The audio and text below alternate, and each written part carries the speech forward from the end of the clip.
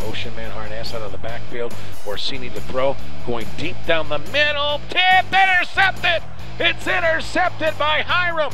And they'll bring it back. Still on the run is the Terriers. And it's Ronnie Jones on the return at the 30. He's at the 20. He's at the 10. He's into the end zone for a touchdown.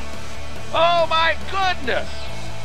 Ohio Wesleyan decides to throw the football, a tip, an interception, and we get the touchdown.